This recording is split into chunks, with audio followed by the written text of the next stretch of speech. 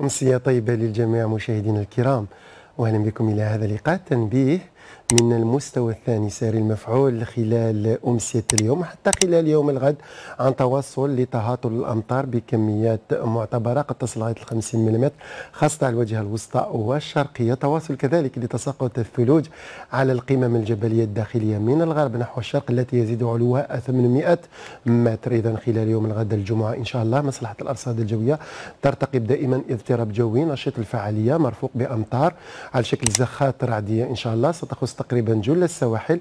الأمطار مرفوقة كذلك ببعض حبات من البرد خاصة على السواحل الوسطى والشرقية. تواصل كذلك لتساقط الثلوج على المرتفعات الداخلية التي يزيد علوها 800 متر خاصة المرتفعات الوسطى وكذلك الشرقية. سحب سفلى كثيفة ستخص شمال الصحراء. سبع درجات دون الصفر خلال ليلة اليوم وخاصة صبيحة الغد على البيض درجتين دون الصفر على تيارت خمس درجات دون الصفر على باتنا ست درجات كذلك دون الصفر على سطيف قسنطينة قال ميلا خنشلة سوق هراس مقاييس ما بين أربع درجات لغاية ست درجات وهذا على السواحل. درجات الصفر على بشار وغرداية 14 درجة على أقصى الجنوب. أما خلال ظهيرة الغد إن شاء الله درجات الحرارة القصوى دائما في تراجع طقس بارد تقريبا على كافة المناطق الشمالية خاصة المرتفعات والهضاب. ننتظر ثلاث درجات فوق الصفر على البيض سعيدة وأفلو خمس درجات على الجلفة والأغواط ست درجات على تيارت والسطيف تسع درجات على كل من تيزي وزو البويرة وحتى على باتنا. مقاييس ما بين 11 درجة إلى غاية 13 درجة على السواحل.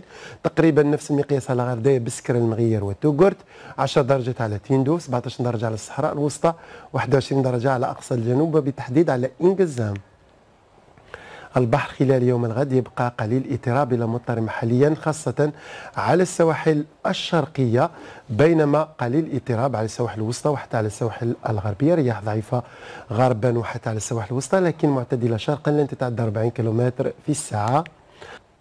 غروب الشمس اليوم الغد إن شاء الله على مستوى العاصمة. سيكون بحول الله في تمام السادسة وثمان دقائق. أشكركم على المتابعة. أمسية طيبة للجميع. في أمان الله.